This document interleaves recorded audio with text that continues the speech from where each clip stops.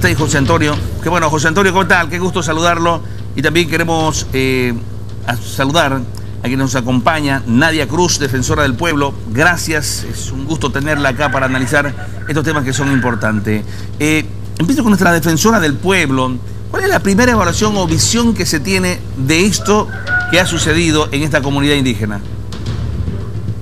Muy buenos días, un saludo fraternal para ustedes, para toda la audiencia que nos sigue. Un acto, un hecho muy lamentable el que ha tenido que atravesar nuestra población al conocer sobre este caso. Realmente es un hecho delincuencial que creo que hay que aclararlo, no es justicia comunitaria, no corresponde a un uso y costumbre permitido dentro de nuestro Estado. En Bolivia, si bien la justicia indígena originario campesina se encuentra reconocida como parte del sistema de justicia, de, los, eh, de las modalidades que existen en nuestro país, este tipo de hechos no pueden considerarse parte. Ya hace muchos años se ha abierto el debate sobre los límites que debería tener, pero hay uno que por lógica, por una, eh, un sentido de raciocinio a, momento de leer la estructura de la Constitución Estado salta, y es que cualquier atentado contra la vida, cualquier hecho o detrás de un trato cruel, un hecho de tortura, no son parte de lo que pueda reconocerse dentro de un sistema formal. En este caso, lo que ha ocurrido ha sido un acto arbitrario, un acto abusivo, un acto desproporcional en relación a la sanción que se le da a esta persona y lo que se conoce comúnmente como la justicia por mano propia. Y es castigada, debe ser penada pero también nos está mandando, este hecho nos está demandando un análisis más serio sobre hasta dónde llega el sistema de justicia formal en nuestro país.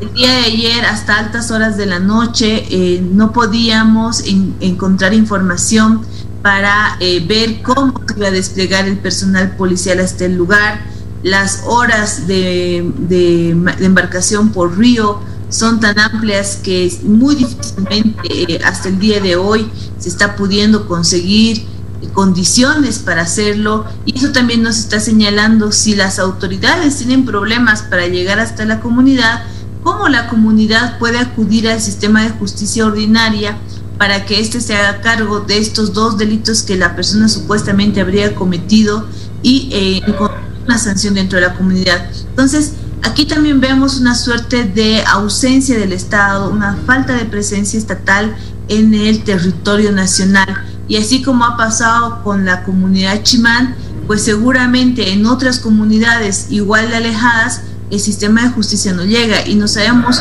qué es lo que puede hacer o qué es lo que tiene que hacer la gente para poder un poco regular o generar normas de armonía dentro de su sociedad.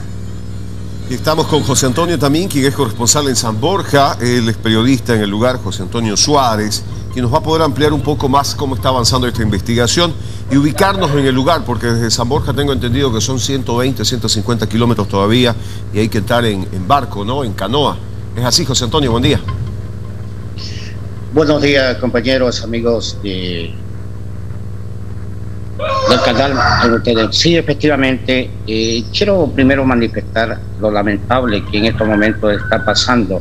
No solamente al consternado, decía la defensora acá en San Borja, eh, sino en todo el país y por qué no en todo el mundo, porque las redes sociales, ustedes saben, hemos tenido llamadas de Inglaterra, Estados Unidos, por algunos defensores también de allá y lamentablemente este, este hecho pues acá también nos ha consternado a nosotros, a nuestra población.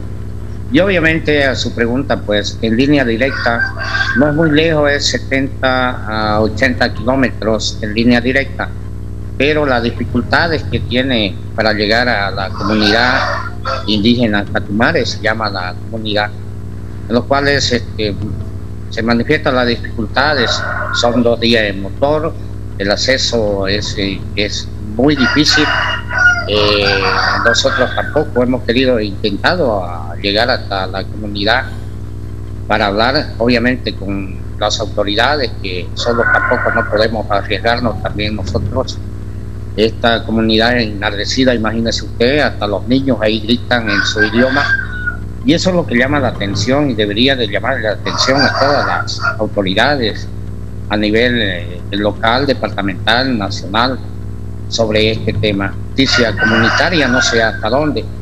Y nos preguntamos todos también.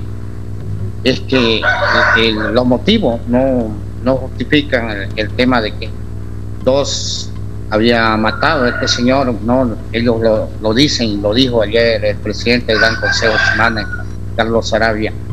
Entonces, para que tengan escarmiento, además de eso, tener que, tener un alto, venía, venía amenazando a mujeres, a niños, y como también ya, ya había asesinado a dos personas. Entonces ellos decidieron en todas las comunidades hacer esta justicia comunitaria, como ustedes ven, eh, lo lamentable. Manifestar que también autoridades a nivel departamental, local, ya, ya han coordinado para hacer una comisión, especialmente la policía y la fiscalía también, para llegar hasta el lugar, ir una comisión, obviamente con derechos humanos a nivel departamental nacional, para investigar a fondo esta situación. Y nosotros dijimos que se debería hacer un estudio muy profundo sobre estas situaciones con justicia comunitaria. Desde que se abrió este, este tema, pues se viene haciendo esta situación con, pleno derecho que ellos hacen. José Antonio. Eh, adelante, compañero. Gracias. Sí, para la defensora del pueblo, por favor, bajo el entendido de que esto no está estipulado en la justicia comunitaria y es la justicia ordinaria quien debe actuar, ¿se va a sentar algún precedente? En este momento, de acuerdo a las conversaciones con Ministerio Público, existe un caso aperturado, se lo ha ingresado de oficio pero lo que dice el compañero eh, es cierto, ¿no? Para llegar en ese momento a este lugar eh, es muy amplia, solamente tomando en cuenta la distancia y las condiciones materiales. Hasta ayer, ayer en la mañana han informado que se iba a ingresar un grupo de la policía hasta el lugar, es lo que ha pasado con esa persona, si al final murió o no murió, eh, recoger el cuerpo, que se inicien las pericias y demás. Pero eh, ayer por la noche, alrededor de las 7, 8 de la noche, nos informan que no tienen la embarcación para poder ingresar la parte del Tampoco se habían realizado las coordinaciones necesarias con eh, la naval para que puedan facilitarles estas condiciones. Ya un poco nosotros haciendo una evaluación interna dentro de la Defensoría del Pueblo, que no es suficiente, que es eh, la intención o la apertura del caso mismo, sino ya pones en necesidad de presencia estatal en el lugar o por lo menos de un contacto permanente o un enlace directo institucional dentro del para poder generar una, una suerte de presencia estatal. En este caso eh, se van a volver a hablar con las autoridades del lugar, con el Consejo Chimán, para, para que vea la posibilidad de que exista un acercamiento, una suerte de colaboración en este momento de las autoridades indígenas, pero también vamos a hacer nuestras gestiones con la naval para que se facilite la posibilidad bueno, de del apoyo de un contingente de las embarcaciones para poder ingresar al lugar y bueno, ya dependerá mucho de la voluntad del Ministerio Público, de la Policía Boliviana, porque este es un caso, es un delito ordinario y tiene que investigarse. Pero yo reitero, no solamente se tiene que investigar el delito, se tiene que investigar las condiciones del sistema de justicia al que pueden acceder comunidades como la Chimán eh, en, este, en este tipo de hechos. Cuando ellos señalan que por eh, o como consecuencia de delitos que estaba cometiendo esta persona y que estaban afectando a su comunidad, uno tiene que entender que si ellos no tienen al alcance a la policía, al Ministerio Público, a una autoridad del Estado que vaya y detenga esos hechos delictivos, em, sin justificar, ellos encuentran esa salida como legítima, aunque no lo es, aunque no lo sea. Pero aquí hay que generar un equilibrio también en cuanto a la responsabilidad del Estado eh, más allá de que este, este hecho eh, aisladamente tenga que ser eh, juzgado en la justicia penal, ¿no? Defensora, es muy complicado esta situación, ¿no? De que llegue la justicia a estos lugares, más conociendo lo difícil del acceso. Y, estamos con José Antonio, quien él está en San Borja, está muy cerca de la zona, bueno, 80, 90 kilómetros, todavía es complicado de llegar. José Antonio, la persona que vemos en imágenes que fue quemada fue llevada en primera instancia luego el hecho a un centro de salud, fue atendido y ha fallecido, ¿no? Si puede activar su audio, por favor. José Antonio. Sí, efectivamente, compañero, eh, se ha, ha muerto. Imagínese usted, eh, continuaba según las informaciones que nos llegan a través de los dirigentes indígenas chimanes, algunos también corredores. Este, permaneció ahí atado después de lo que hicieron eso. Tuvo que morir a, a las 24 horas y fue enterrado en esta comunidad. Eso es supuestamente el informe que nosotros llega también es difícil sacarle la información a muchos indígenas planes para que así no, nos cuenten. No existe policía en el lugar, peor fiscales, ¿no, eh, José Antonio? Eh, en San Borja sí, efectivamente, hay un comando policial. En la comunidad donde sucedió el hecho. Todo, el municipio, no, no, no, ahí no, no existe nada, no hay presencia del Estado, como dice la defensora, y eso es lo difícil, y habrá que tomar un análisis eh, que venga una comisión de, la Defensoría, que vengan también las autoridades para que, así como en esta comunidad, me imagino que hay muchas en, el departamento y como también en todo el país, no hay ninguna.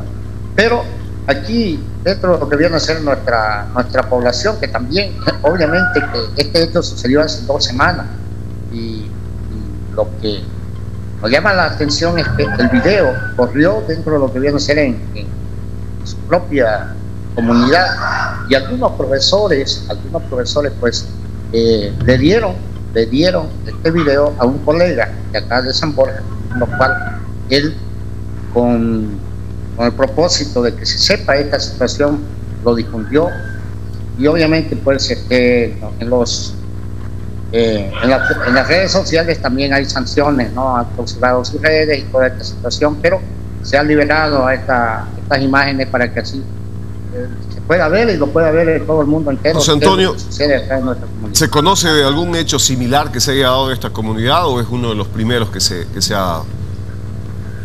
Es uno de los primeros, compañero, es uno de los primeros. Pero nos llama la atención que el pueblo indígena chimano que vive de la caza y pesca, de la agricultura, es que suceda. Hemos charlado, nosotros tenemos dirigentes, mi persona junto con, otros colegas, tenemos amigos del, Gran Consejo Chimano, los indígenas. Ellos son tranquilos, son nómadas, viven eh, con sus esposas, así en chacra, ustedes como ven a distancia. Y eso es lo que nos llama la atención en estos momentos el proceder de algunos comunarios de esta comunidad indígena. Bueno, eh, hay algo que, está preocupando y que se ha tocado, eh, defensora, que esto se puede evitar en otras comunidades indígenas bajo el argumento de justicia comunitaria. Eh, ¿Qué, debemos hacer? ¿Hay que centrar precedente con este caso?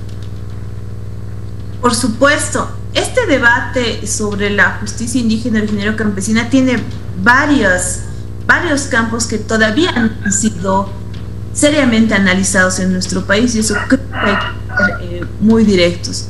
Primero, la ley eh, de deslinde jurisdiccional ha limitado en muchos aspectos a la justicia indígena originaria, dejando varios ámbitos de regulación a la justicia ordinaria, cuando la justicia ordinaria no tiene capacidad para llegar al 100% del territorio nacional y lo que se hace en la realidad es generar una suerte de eh, limitación extrema para una justicia sin que llegue la otra, así que se genera un vacío en ese, en ese momento, en ese espacio.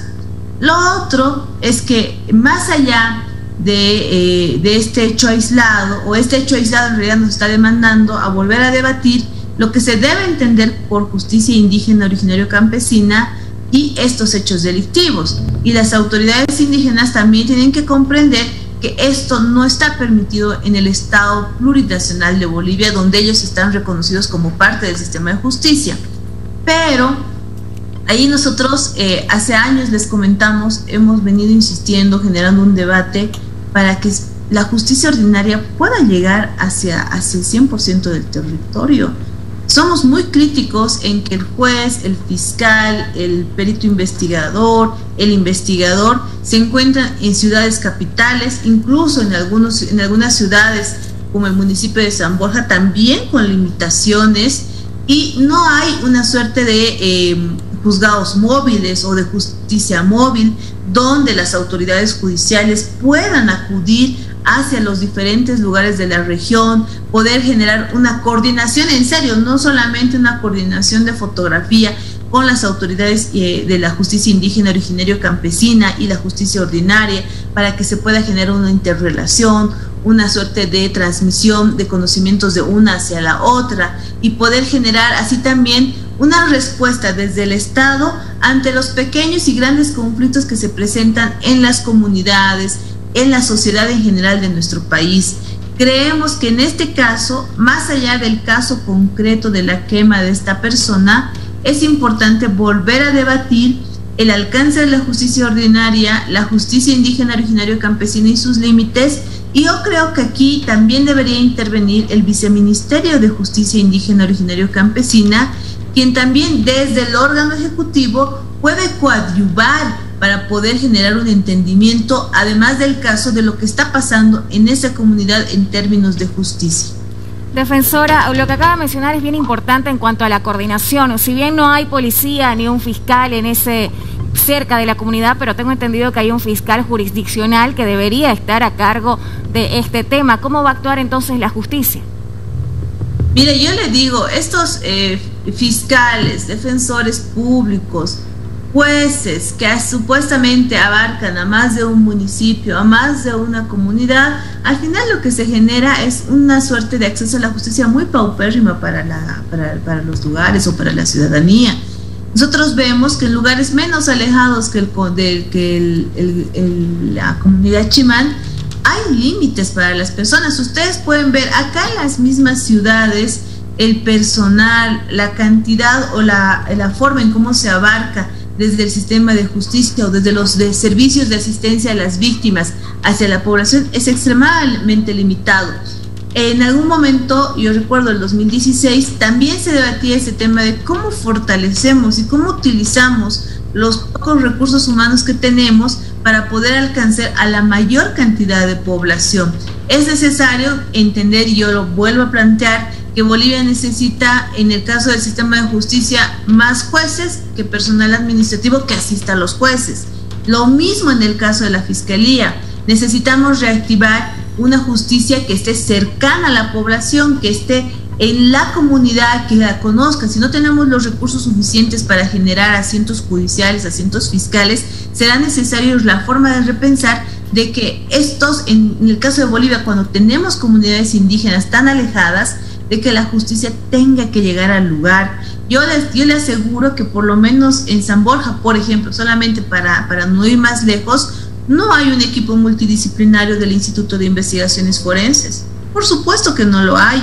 No existen los laboratorios para realizar pericias suficientes. ¿Qué es lo que pasa? Desde estas comunidades, peor desde la Chimam, tienen que pasar dos días, tienen que pasar tres días, cuatro días para acceder a un sistema de justicia que incluso la capital de la ciudad les va a negar acceso por falta de condiciones, por límites en las condiciones para poder atenderlas. Creo que este caso eh, nos plantean estos dos debates, ¿no?